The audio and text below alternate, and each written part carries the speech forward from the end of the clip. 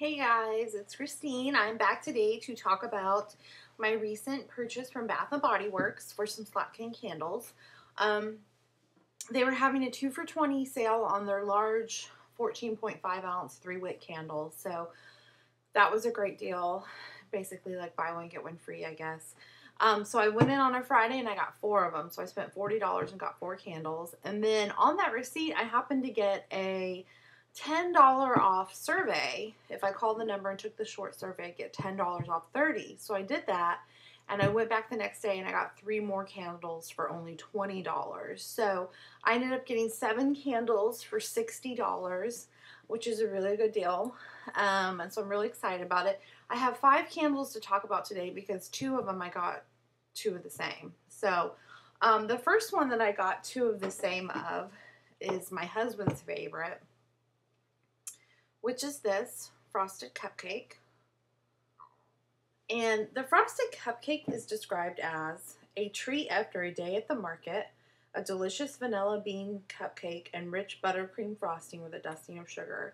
And hmm, when I smell this, it smells just like it's described. It smells like a vanilla cupcake with the thick, rich, sugary, creamy frosting on it. Um, kind of like a birthday cake is what it reminds me of. It smells like a birthday cake. So I I like it. Um, my husband loves it. He wanted me to get two of them, and he really goes for those vanilla scents. I don't smell it so much when it's burning, but he does. So I don't know. Maybe my nose is just um, used to it and not picking it up as much. But he loves it. That was his favorite pick. So I got two of those. Um, the next one I got two of is my favorite, and I was kind of surprised by this one. It is Bahama Fizz. My lamp is, there we go, you can kind of see it. Bahama Fizz. It's described as refreshing and delicious, a sparkling cocktail of fresh kiwi, island banana, and orange flower infused with spice rum. And I've been burning this in my bathroom because my bathroom is this color.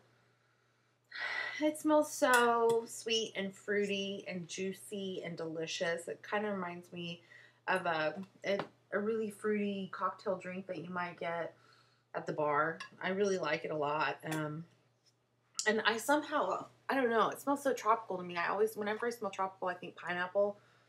It doesn't mention anything about pineapple on here, but I somehow smell it. That's what I associate with it. But I really love that Bahama Fizz, so I got two of those.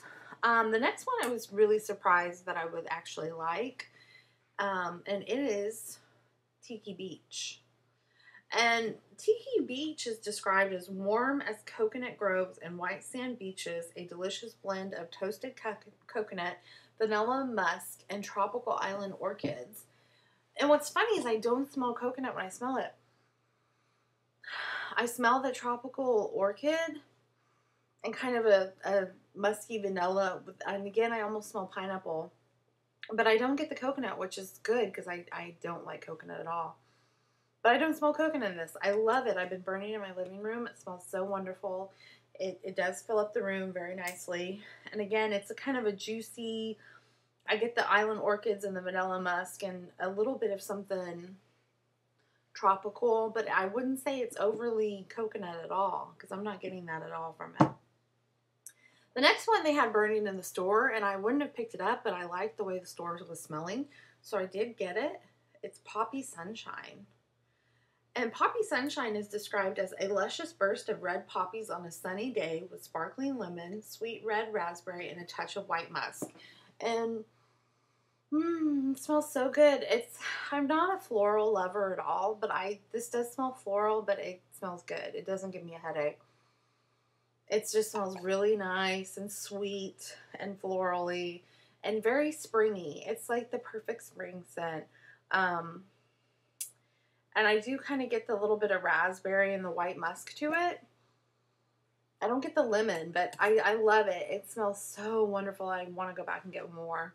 And the last one I haven't burned yet, so I can't really report on it if I like it or not. And I've heard a lot of people say they don't like it, but my husband picked it out